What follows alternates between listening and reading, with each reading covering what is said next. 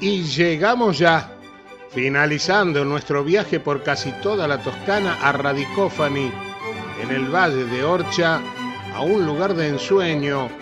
Il Pero es el nombre de una empresa privada y establecimiento agrícola que posee dos antiguas casas recientemente restauradas, con todos los elementos interiores más modernos, para brindar confort a quienes allí se alojan.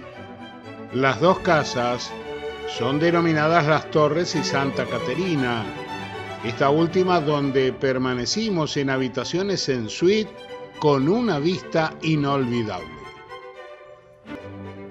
Las dos casas del agroturismo poseen una piscina en común, en un lugar donde puede admirarse gran parte del verde paisaje y es un motivo más para disfrutar de esta característica de toda Italia.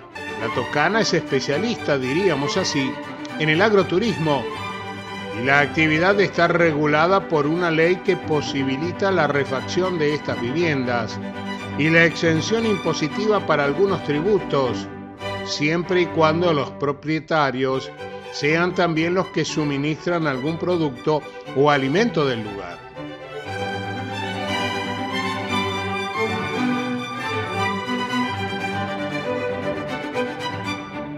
La estancia del Pero se remonta a la Edad Media y la construcción más antigua es del 1100 después de Cristo, como la casa patronal que hospedaba a los peregrinos que pasaban por este lugar para ir a venerar a Santa Caterina de Siena. La casa se mantiene en su interior prácticamente como en aquella época y la habitan las hermanas Diana y Alessandra Pasqualucci, propietarias de la estancia adquirida por su padre, que era un ingeniero en 1963, para ser completamente restaurada.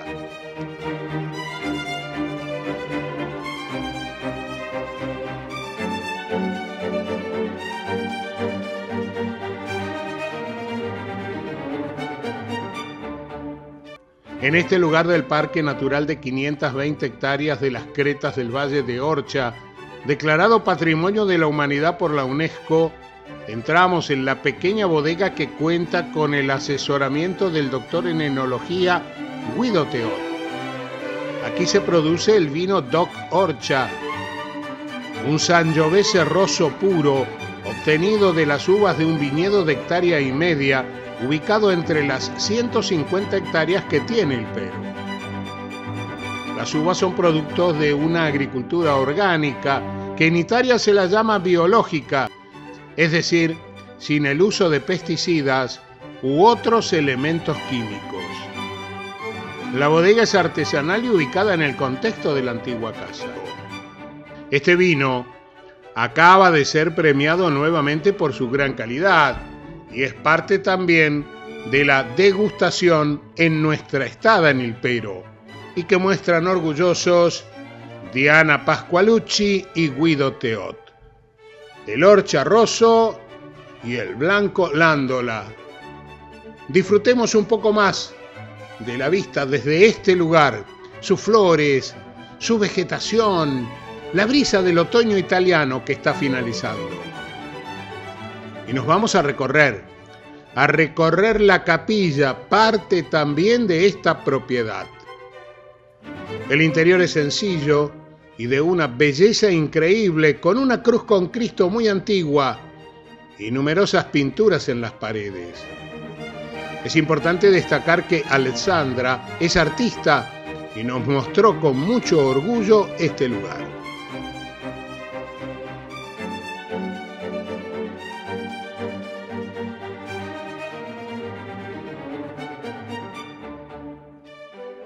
Desde aquí vemos la torre de Radicofani, parte de un castillo feudal de la época carolingia llamada La Roca.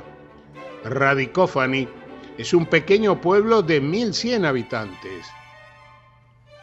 Todos estos campos son propicios para el pastoreo de cientos de ovejas, cuya leche producirá luego el popular queso pecorino una especialidad de Italia.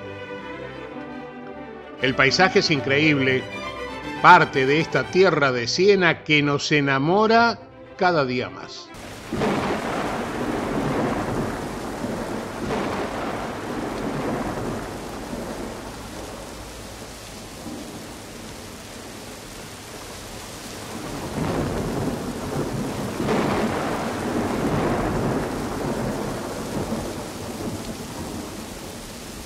Aunque llueve intensamente y los truenos resuenan en el ambiente, cámara en mano, llegamos a la abadía de Sant'Antimo, ubicada a pocos kilómetros de Ilpero y a 40 kilómetros de la ciudad de Siena. La historia de la abadía es larga y compleja. Fue fundada por Carlomagno en el año 781 cuando regresaba a Roma y una de las versiones dice que erigió el monasterio en honor de Sant'Antimo al haber recibido sus restos mortales.